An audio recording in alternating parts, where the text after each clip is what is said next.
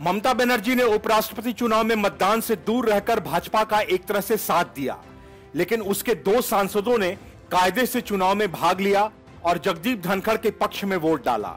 दो सांसदों की बगावत से ममता बनर्जी को गहरा झटका लगा है, जो इन दिनों पार्थ चटर्जी के गोलमाल से निपटने में जुटी हैं। हालाँकि टीएमसी ने अपने सांसदों को मतदान में भाग नहीं लेने का आदेश दिया था। लेकिन शिशिर अधिकारी और दिव्येंदु अधिकारी ने पार्टी के आदेशों को न मानते हुए मतदान किया।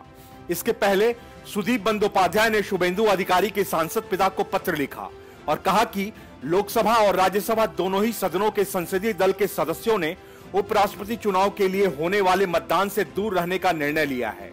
उन्होंने अपने पत्र में यह भी कहा कि इस निर्णय के मुताबिक हम मतदान से दूर रहेंगे।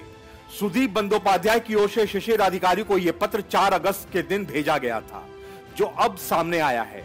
लोकसभा में टीएमसी संसदीय दल के नेता सुदीप बंदोपाध्याय ने शिशिर अधिकारी को भेजे गए पत्र की प्रतिलिपि स्पीकर को भी भेजी है।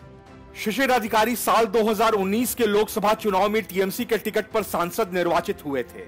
पश्चिम बंगाल में विधानसभा चुनाव से ठीक पहले सांसद शिशिर अधिकारी के पुत्र शुभेंदु अधिकारी ने मुख्यमंत्री ममता बनर्जी के नेतृत्व वाली सरकार के कैबिनेट मंत्री पद से इस्तीफा दे दिया था और भाजपा की सदस्यता ग्रहण कर ली थी। शुभेंदु अधिकारी के टीएमसी छोड़ने के बाद शिशिर अधिकारी भी 2021 के विधानसभा चुनाव से पहले भाजपा में शामिल हो गए।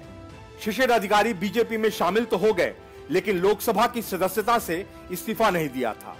टीएमसी संसदीय दल के नेता ने अब उपराष्ट्रपति चुनाव की वोटिंग से दूर रहने के लिए शिशिर अधिकारी को पत्र भेजा है।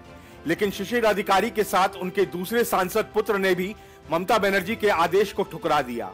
मतलब साफ़ है कि दिव्येंदु ने भी अब टीएमसी से दूरी बना ली है। Bureau report, news of India.